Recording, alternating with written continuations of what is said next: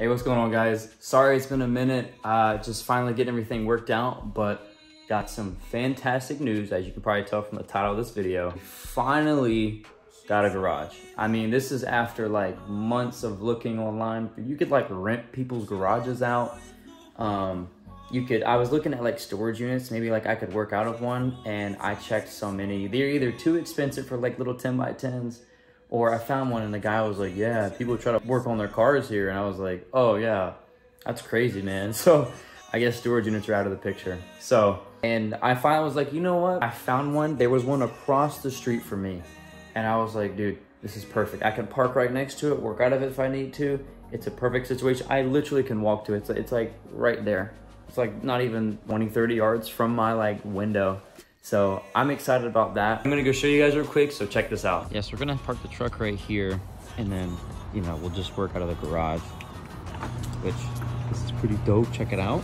Yeah, so I got a little 0.5 action on the camera, but this is, uh, this is about it. So, not too bad. Um, it works. We got electricity over here. We got some, some power over there, so I'm pretty excited about that. But this is uh, this is gonna be it. I finally just kind of bit the bullet. I was like, if I'm gonna make content, I'm gonna have to just find something, you know. And this was what I gotta do. But I'm willing to do it because I need space to work in. This is the only thing I can get as a garage to work in that's closest to me. It's literally across the street, which is great. So, but uh, yeah, I'm actually about to load my tools in right now, um, get them all set up back here, and then uh, hopefully do some projects this weekend. It's a it's an 11 by 20 is what the woman at the front office said. So we can actually pull Sierra up in here a little bit and kind of work out of it because I'll have probably like my toolbox and stuff back here and hopefully I might get like a little workbench right there. The main back wall is going to be like mine where everything goes like storage or whatever. And then yeah, we can pull her in if we need to. So, because I mean, you know, right there is you know, everybody drives by there. So I don't want to have like half of her body sticking out, like kind of how we did it at the old garage. Yeah, this is it. Um, I'm excited. So I'm gonna go ahead and get my tools in here and then uh, I kind of update you a little bit on how we're gonna have the layout in here. All right, y'all. So we are finally unloaded. Uh, it was a pain getting this thing out by myself. I was trying to like angle it like off the off the um, tailgate here and it comes apart right here. So it started like bending back. I was like, okay, well, I'll just get the foot down first, but then it kept sliding and it kept going. Just wrestled with it right here for like probably a good 10 minutes, but we got it. Um, and then I've discovered that when I had to get into it, I had to use my tools a couple times while I was here.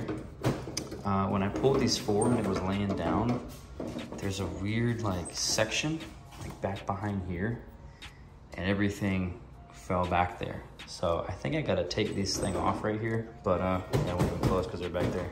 Same with this guy. so, oh, and before I go, I wanted to talk about the lighting. So obviously that is not gonna be sufficient. It's just a halogen bulb. So I was talking to my dad and we were saying uh, there's like some LED strips you can get that are like $15 on Amazon and you just plug in. So I was thinking about getting a couple strips to just put across the top over there. Maybe like one back here. So I can have pretty good light. So um, that's what I'm thinking about doing. Yeah, that'll do something. You know, it does this, but it's kind of sucky. You know, it's like, yeah, it's not much. So, but that's the plan to get more light in here because I'll definitely be in here late nights on the weekends. If you have any other ideas about better lighting in here than that, then let me know in the comments. But uh, yeah, that's the idea. All right, let's talk about getting past 500 subscribers.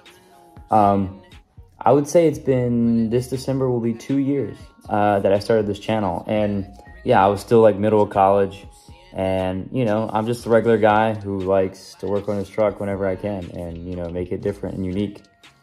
Uh, my phone is sliding. Yeah, I, am just I'm another guy who like y'all who likes to work on their truck whenever I can, and um, I just, you know, I kind of got inspired by some YouTubers. Like I got inspired from uh, LMFS Crew. I think that's how it is, right? Um, and then also the Lone Star Hawaiian. Those two guys were my biggest kind of like motivation to just take a step. Like I started following Lone Star Hawaiian whenever he had like less than 10,000 subscribers.